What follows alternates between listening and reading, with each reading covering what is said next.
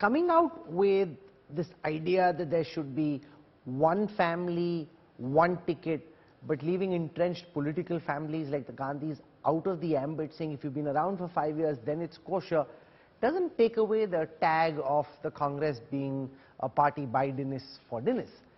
Uh, and this Chintan Shivir, will it lead to any real change or will this just help Prime Minister Modi and the BJP push the charge that this is a party by Bidenist for Dennis and it's refusing to change? Joining me for perspective on what's going on in Udaipur, I want to welcome first Rajdeep Sardesai. He's been speaking to Congress leaders even as we were preparing for the show. He'll give us some very sharp insights as always. We've got Rashid Kidwai, one of our foremost watchers of the Congress.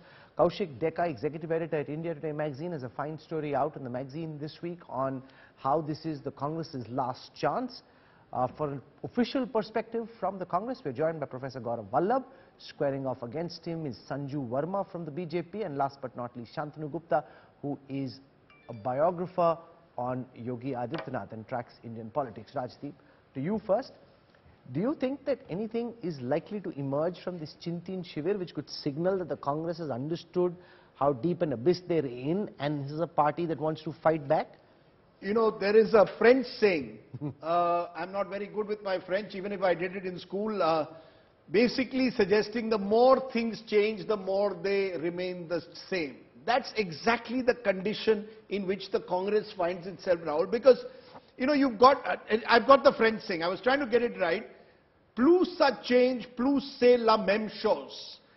The more things change, the more they remain the same. Look, a Chintan Shivir is important for any party particularly when you've gone through a series of electoral debacles and you seem to be struggling this time for existence. It's an existential crisis.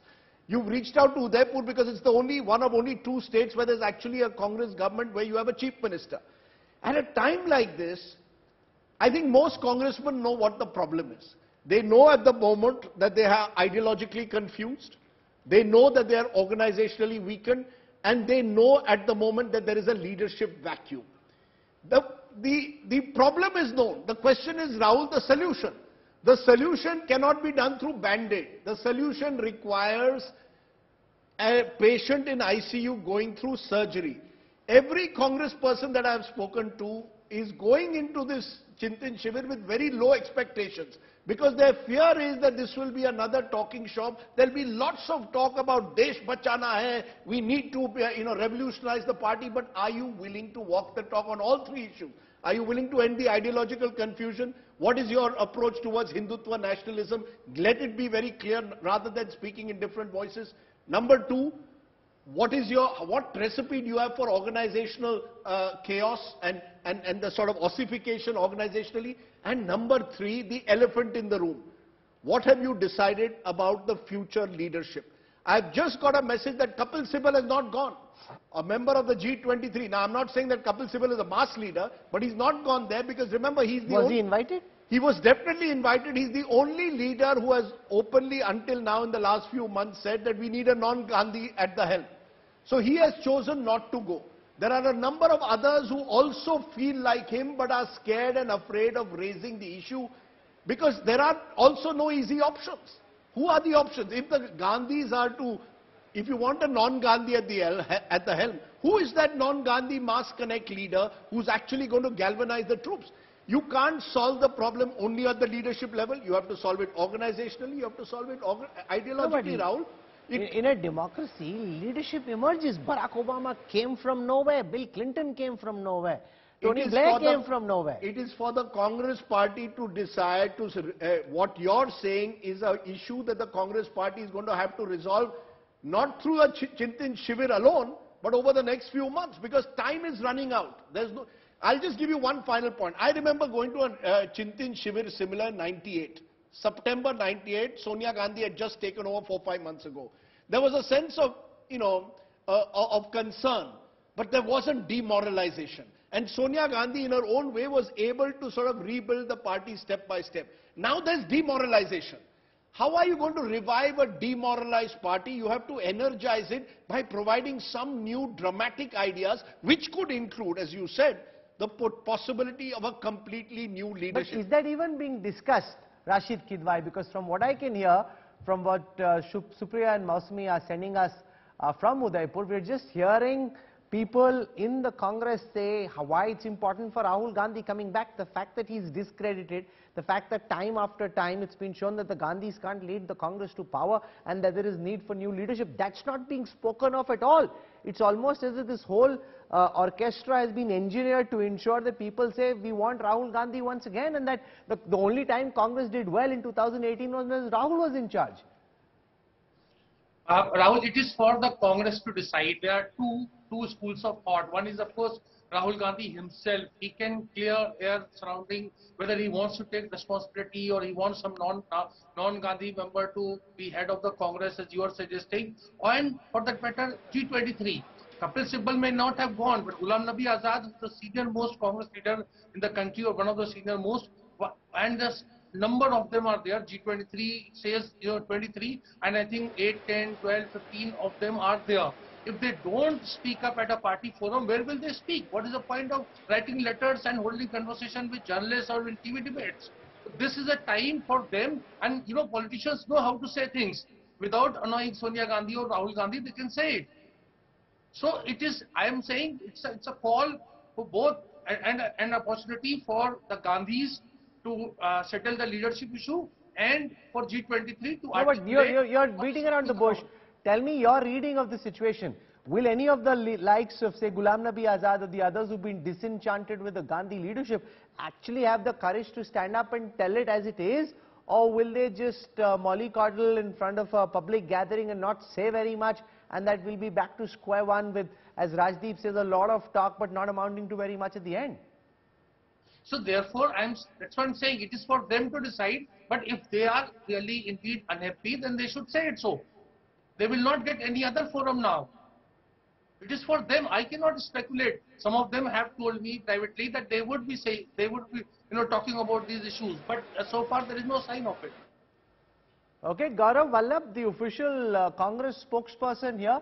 The big question, of course, your party says that there will be a one family, one ticket principle and then builds in so many caveats that if you've been around for more than five years, then it doesn't apply, which essentially means a political family like the Gandhi can have more than one member, which essentially means that the charge that the BJP would level or the Prime Minister would level about the Congress being a party Bidenist, Fordinist, that doesn't change.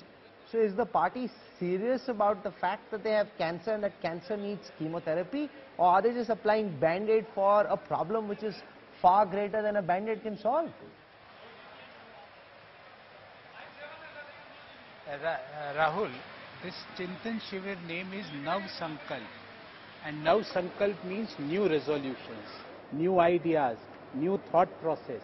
And I am, why I don't know why Rajdeep uh, is so uh, pessimistic. Today is the first day and uh, Rajdeep gave his opinion. I don't know what prompted him to give that opinion.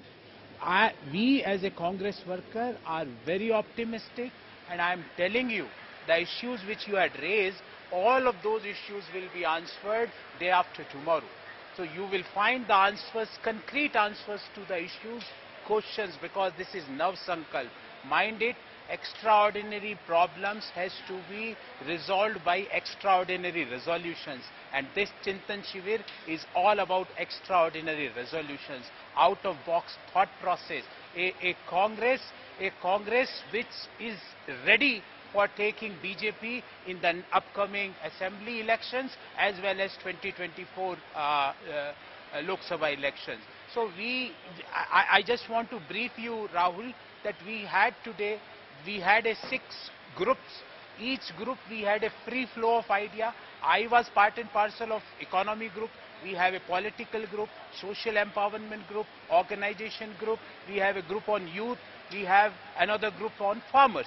So in, in my group we have around 60 people across the country and we had a free flow of ideas and I'm telling you the, the, the, the quality of ideas we are getting, we are coming with a extraordinary resolutions day after tomorrow. And Rajdeep ji, don't be so uh, pessimistic.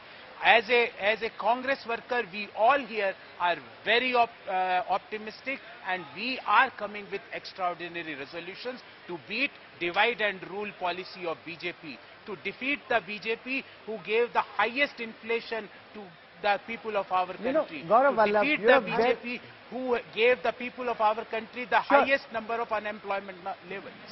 No, Gaurav Vallabh is a very I, I, I bright- just yeah. want to say, I'm not being pessimistic, were but saying journalists, sir, journalists are entitled to be skeptical because we have watched your party over the last 20 years making various announcements and then not acting on it. I will be, you know, I, all of us would like to see a strong opposition, a strong Congress.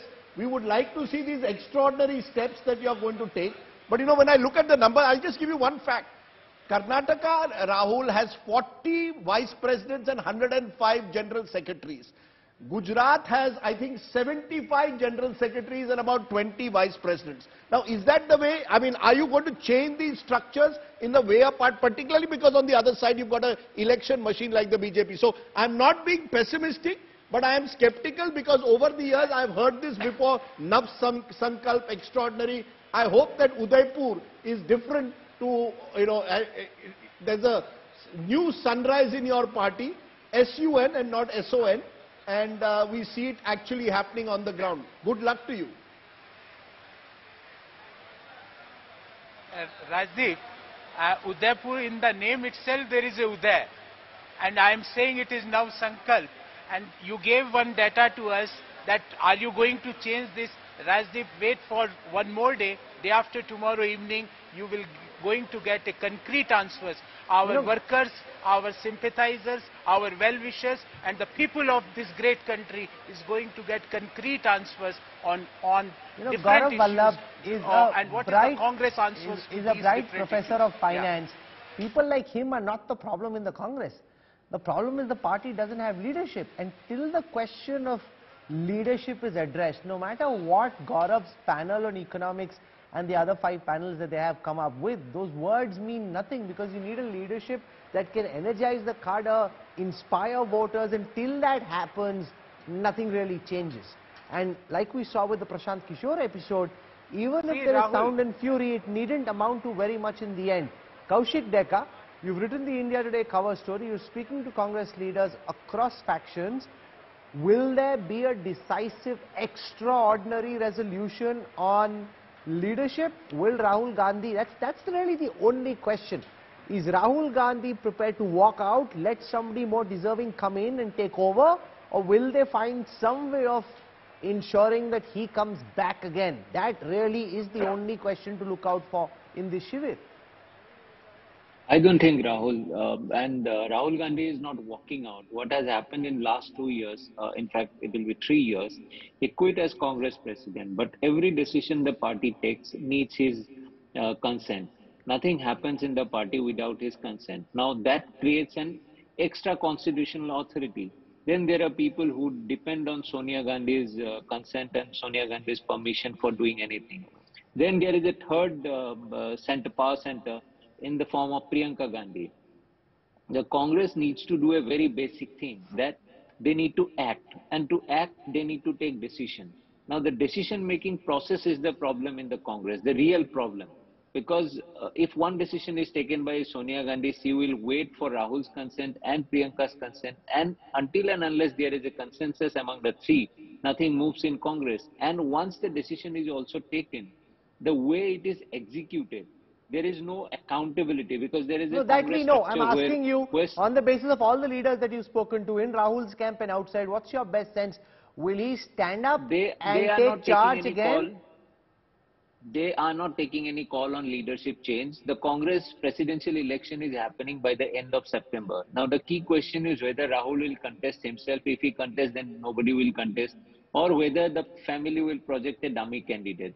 That's where the uh, the entire Chintan is uh, revolved around. So, I don't think in the Chintan Shivir they are talking about leadership.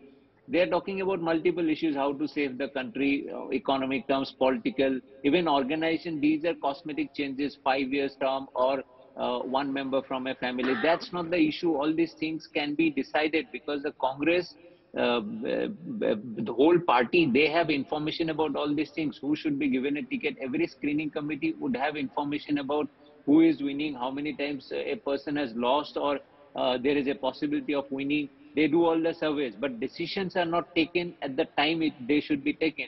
We have seen that in uh, what happened in Punjab or in Uttarakhand um, uh, or in Goa. The real problem is decision making, Sanju and Verma that's not happening. Delighted. And that doesn't happen. You know, usually she'll no be very charged up, wanting to come in here. She says, "Aapas mein ladne to inka kuch nahi hone wala." They'll come up with nothing but just empty words, and that at the end will not really amount to much of a challenge for the BJP.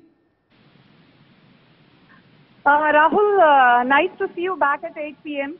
Um, I just want to say a couple of things. You know, uh, I agree with Rajdeep for a change. The more things change, sometimes the more they remain the same. And I'm reminded of a very famous, a personal with me, I'll favorite of mine, a quote by Muhammad. A favorite quote from Muhammad Ali, the great boxer, who said, It is not the big mountains in front of you that weigh you down or wear you down. It is often the small pebble in your shoe.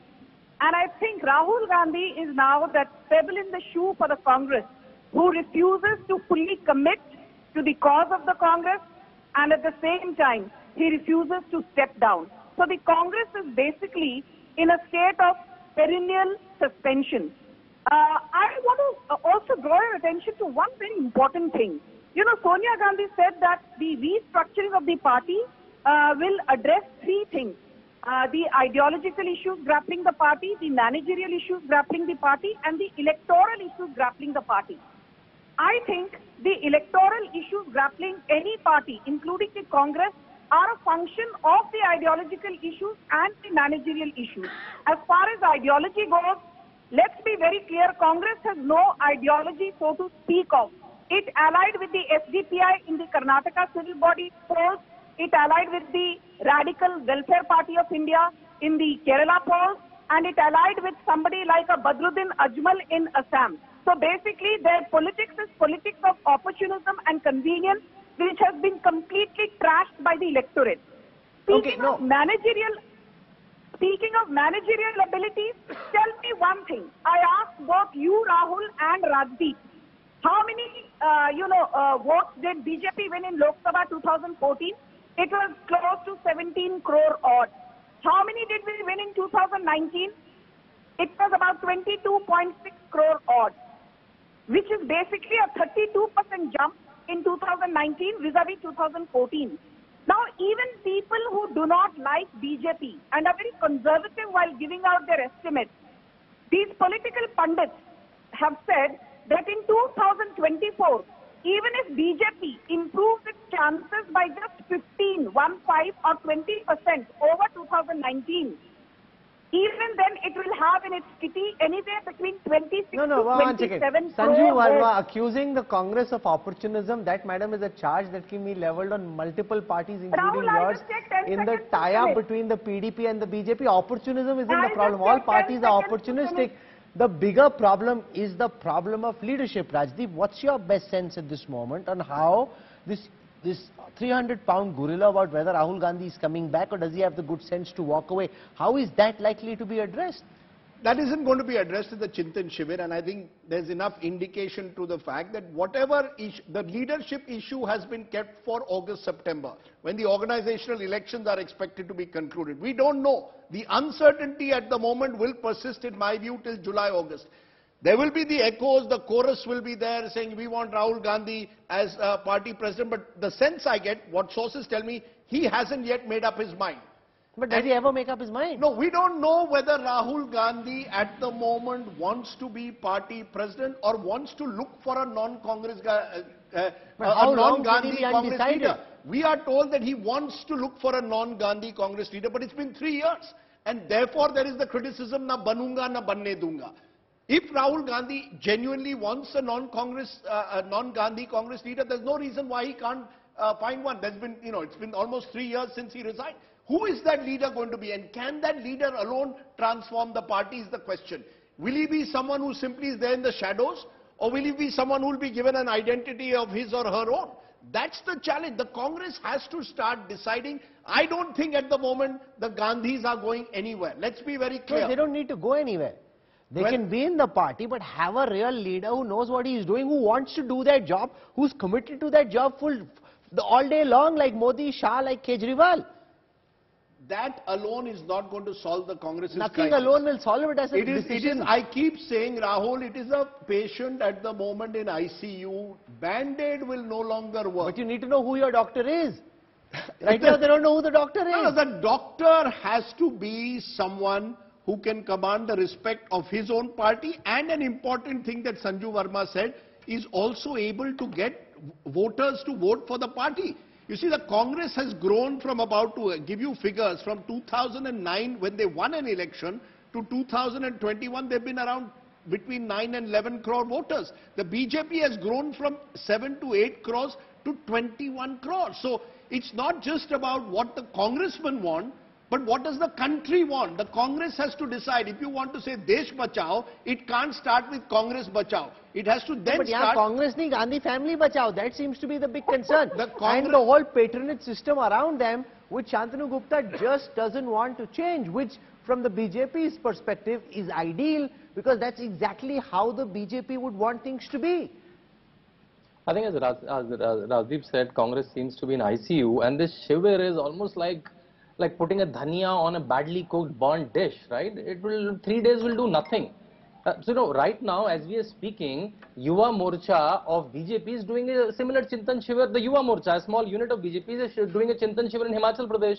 Whole of UP, just after winning the election, is doing a Prashiksha Shivar in every 75 districts, just after winning election. And central team of BJP is concentrating on 75,000 weak booths, which they not won convincingly or did not won in 2019. This is the level of work BJP is putting, right? So three-day Chintan Shivir and just just hear the speech of Sonia Gandhi. She is still playing that minority victim card, polarization. That's people people are not ready to hear that. And as as we all are discussing, will Rahul Gandhi go versus a versus a Narendra Modi, like whose image of non-corruptibility, his efficient governance, and his hard work, right? You can't match them with the nightclub photos.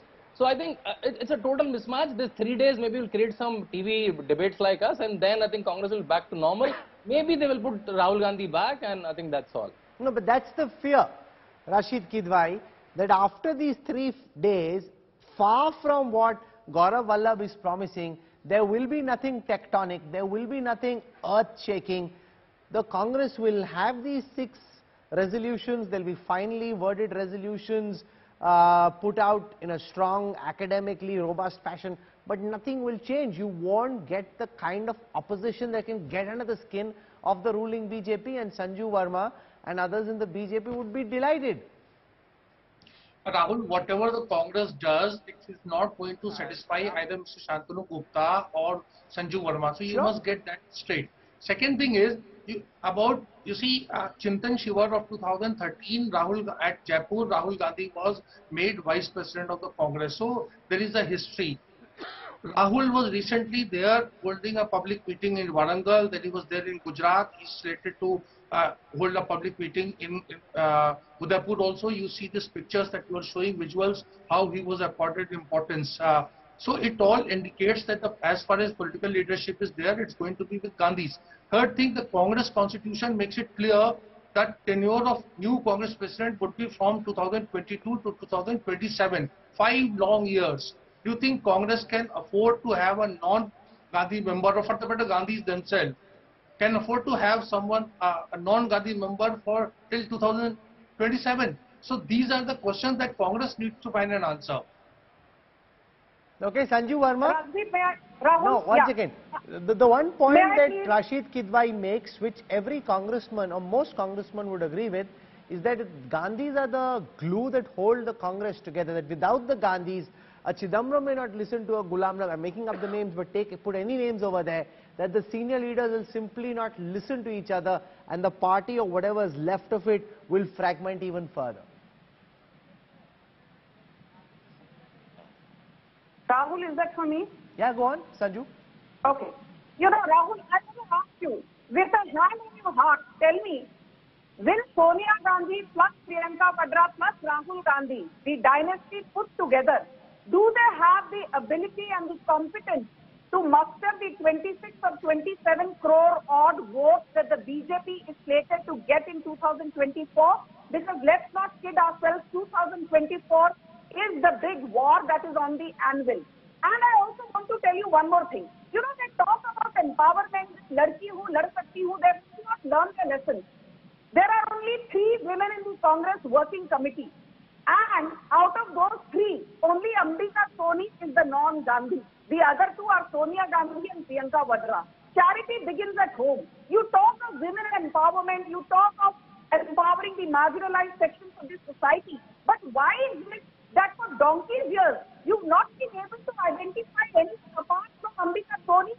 How is it that Ladki Hu, Lad Sakti Hu campaign failed miserably, but Priyanka Vadra continues to be a member of the Congress working committee? How is it that the Congress has lost more than 45 big and small elections in the last eight years, but Rahul Gandhi is still the man who's likely to take up the mantle if he would have been a part of the corporate sector. He would have been sacked long back because there's zero performance. And No, so of that, corporate sector is, is, a, is not the right benchmark. Look at any other democratic system. In any country, whether it is say the US or the UK, uh, Gaurav Vallabh, a leader who takes his party to defeat after defeat in the manner in which Sonia and Rahul Gandhi have done, would themselves be so embarrassed and ashamed that they would make way and the party would demand that a new leader be instated. That doesn't seem to happen in the Congress. This whole clamor, the whole reportage that we're seeing is for why the Congress desperately needs Rahul Gandhi to come back. Ra- uh, Rahul, one by one, I will answer all your questions. Yes, question, please. Uh, question to your question, uh, answer to your question number one. That Chintan Shivir Rahul is not for selecting Congress president. This Chin, Congress president elections are, is, is, are currently going on and we are going to get that in the month of August. This is point number one. Second, the madam from BJP. Madam, in the BJP, how many women are there in your parliamentary vote? Thoda bataiye na, ma'am. Is there you any know, women in your uh, in the past as your president? Had RSS was headed by any women? So don't give lectures here, please, ma'am. Have decency. Please, please have decency. No, no, that is not allowed. No. Please listen. Please listen. No. Please, please have some. Rahul, please control the. Okay. I no, can't Sanju Verma. Sanju Verma, let Gaurav Vallabh speak. This is not right. Sanju Verma, you made a point. Let Gaurav conclude, please. Gaurav, go ahead. So I asked, I asked madam that in the past, who was your uh, women president of BJP? Answer is no, none.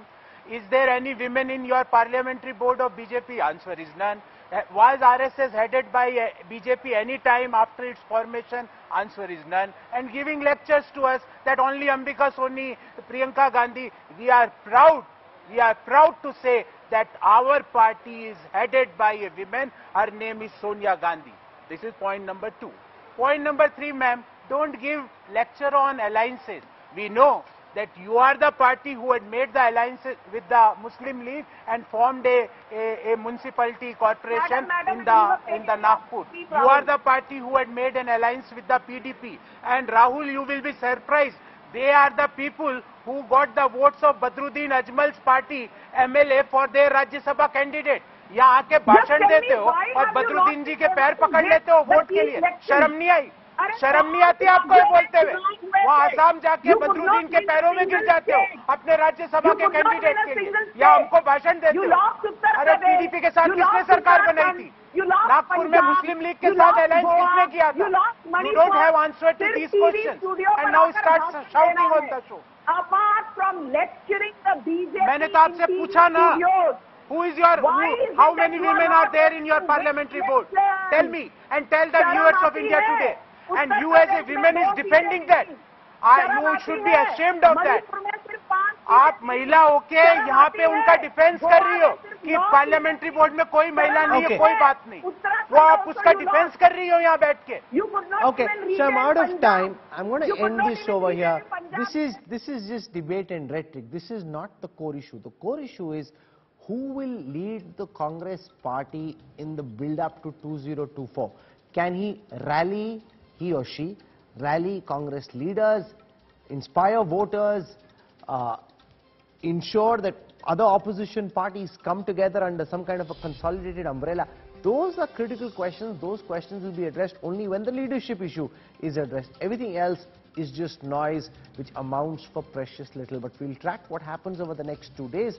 For the time being, I want to thank Rashid Kidwai, Kaushik Deka, uh, Shantanu Gupta, uh, Sanju Verma and Gaurav Vallabh. Gaurav, you have a bit of a bad throat. Take care of yourself. And I hope, like you're saying, that something meaningful does emerge. Otherwise, this shivir will not amount to very much.